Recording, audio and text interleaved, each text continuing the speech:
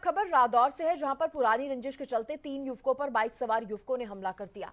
हमले में घायल हुए तीन युवकों में से एक की हालत गंभीर बताई जा रही है, जिसे यमुनानगर रेफर कर दिया गया है। आपको बता दें, गाँव में हुए एक धार्मिक आयोजन को लेकर इन युवकों की कहा सुनी हुई थी, जिसके बाद आरोपियों ने मारपीट की वारदात को अंजाम दिया है।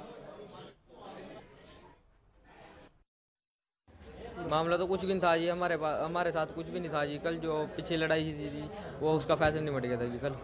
तो उन्होंने पीछे से बाइक लगाई जी। मैंने बस स्टैंड तक छोड़ा अपने बुआ के लड़के को तो उसके पीछे फिर बाइक लगाई उन्होंने। मैंने पहल के काट यहाँ स्ट्रीम जिम के पास रोक लिए थे जी। यहाँ पे उन्होंने हथा हथा पाई करी जी। हाँ जी गट्टे ले रहे थे सरिया ले रहे थे जी। मारे जी में गट्टे दे रहे थे जी। फिर कह रहे थे क्या मार देंगे ये धमकी दी थी जी। चार बंदे थे जी। एक बापे का था जी एक रदौर का था जी। और अन्य।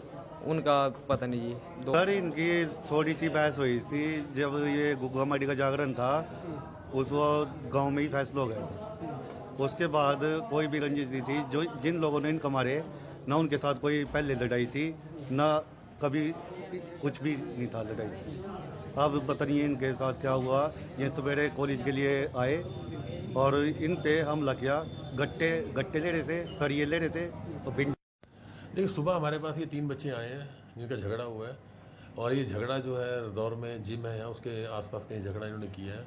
एक बच्चे के सिर पे चोट है और जो चोट देखने में पाया गया कि उस पर टाँके लगने ज़रूरी थे। टाँके लगाने के बाद और जो भी प्राथमिक उपचार था, उसको देने के बाद उसको यहाँ से हमने रेफर यमुनानगर किया ताकि वहाँ पे जो भी उसके एक्सरेज होने हैं या और सर्जन को अगर कोई ज़रूरत पड़ती है तो उसको देख सकें।